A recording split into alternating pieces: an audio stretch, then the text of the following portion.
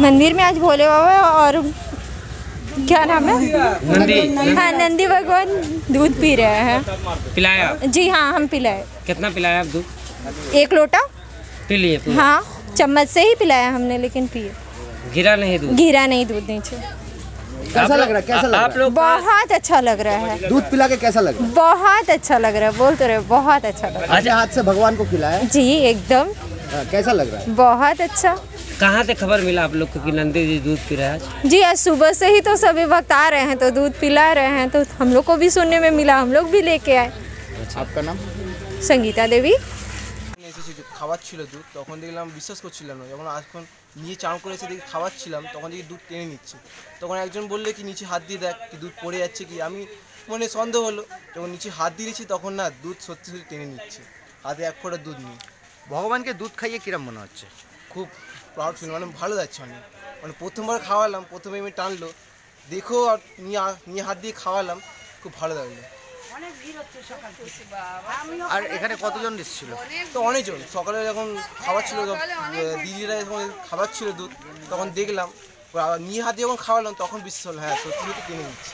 অনেক ভিড় অনেকজনই খাবিয়েছি তোমার নাম কি? আমার নাম উজ্জ্বল সরকার। মন্দিরে কি হচ্ছে? সকাল থেকে পুজো হচ্ছে। হ্যাঁ। এক, একটা ভদ্রমেলা এসে আমার দোকান, আমার ফুলের দোকান আছে। আমাকে একটা ভদ্রমেলা এসে বলল কি, আপনার, আমাদের গলিতে নন্দী বাবার দুধ খাচ্ছে। তা আপনি একটু কোশিশ করুন না, দেখুন না। তাই বলে না, এটার মিথ্যা কথা হতে পারে। তো বলে না, ঠিক আছে। তো একটা মেয়ে ছেলে পুজো করছিল, আমি বললাম কি, ঠিক আছে, দিদি, একটু দাঁড়ান। ওই শিবেরটা তুমি ডালবে না, একটু হাতের মধ্যে নিয়ে একটু নন্দী বাবা খাওয়া। তো আমি ওকে দেখলাম, বলছি হ্যাঁ সত্যি করে একদম চুল্লু করে। খেয়ে নিল। তাহলে আমরা সবকে আমি খবর দিলাম আমি সবাইকে খবর দিলাম। এই বৌদিকে খবর দিলাম বৌদি ও বৌদিকে খবর দিলাম সবাইকে খবর বৌদি আমরা আমি তো সকাল থেকে পাঁচটা থেকে এগারোটা অবধি থাকি। আচ্ছা।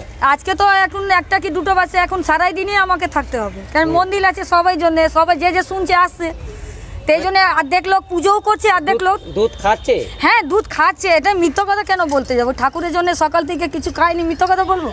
আচ্ছা কত দুধ বললাম তো আমি সকাল থেকে আমি আছি এগারোটার থেকে আরম্ভ আছে। তবে পাঁচ কিলো তো খেয়ে নিয়েছে। আমাকে আপনাকে মিথ্যা দুধ কি অন্য জায়গায় পড়ছে না? না না একজন এমনি এসে বিশ্বাস করেনি তা আমি এমনি গলাতে হাত ধরে আমি দেখালাম। তো বলছে না কিছু পড়তো তাহলে আপনাকে মিথ্যা কথা বলতাম কি দিদি মিথ্যা কথা বলেছে। মিথ্যা কথা বলে ঠাকুরের জন্য মিথ্যা কথা বলব না। আপনার নাম? আমার নাম অঞ্জলি সাউ। আমি একটা ছোট্ট করে কথা বলি। সেটা বিজ্ঞান কোনো মতেই তো আগে বললাম এটা মেনে নিতে পারে না যা পাননি সে কোনো কিছু খেতে পারে না। আমি একটা ছোট কথা বলছি আমার বাড়ির দেওয়ালে। সে দেওয়ালে আপনি একটা চামচ চামচে জল নিন নিয়ে ধরুন দেখবেন তার জলটা চুষে নিচ্ছে। কারণ হচ্ছে এখানে বালি রয়েছে সিমেন্ট রয়েছে বিভিন্ন রকম জিনিস রয়েছে এবং বালির চোষণ ক্ষমতা থাকে। এটা আমরা বলি ক্যাপিলারি অ্যাকশন। এই অ্যাকশনটা হতেই পারে। কেন? ঘটবেই। কিন্তু ওখানে কি ঘটছে এখন তো বলা যাবে না। এটা একদম প্রাইমারিভাবে বলছি আগে বাইবানি একদম ফাইনালি বলছি যে পান ছাড়া কোনো খাওয়া তো দূরের কথা। কোনো কিছু ভবিষ্যৎ মানুষে করতে পারে না। আচ্ছা মানে মানে হ্যাঁ এটা হুজুর উঠেছিল যখন উনিশশো পঁচানব্বই টময় হবে বোধ সালটা ভুল হতে পারে আমার মাফ করবেন। তখন যখন গণেশ দুধ খেয়েছিল তখন তো কাতারে কাতারে মানুষ ঘরে ঘরে দুধ খাওয়াতে চেষ্টা করছিলেন। যাদের মাটির গণেশ ছিল সে গণেশটি ভেঙে যেত। কিন্তু পাথরের গণেশ কিন্তু ভাঙেনি। তার কারণ হচ্ছে ওটাই যে আগে বললাম যে ছোটোভাবে একটা ছোটো কথা বললাম, যে সার্ভ এক্সটেনশন আই মিন পৃষ্ঠটান ঘটেছিল। গণেশকে যদি দুধ দিয়ে চান করানো যায়, আপনার দুধের মধ্যে হাত দেবেন, দিয়ে কিছুক্ষণ হাওয়ার মধ্যে রেখে দিন। দেখবেন হাতটা চটচট চটচট করছে।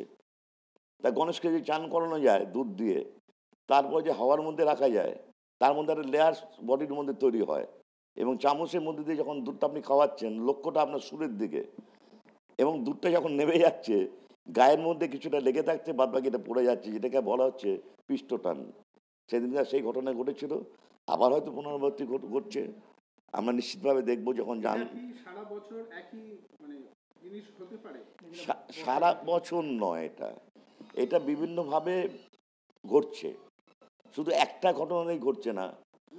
আমি যেটা জানতে চাইছি ধরুন একটা মূর্তি যেটা আজকে দুধ খাচ্ছে তাকে যদি সারা বছর খাওয়ানো যায় সে খেয়ে যাবে।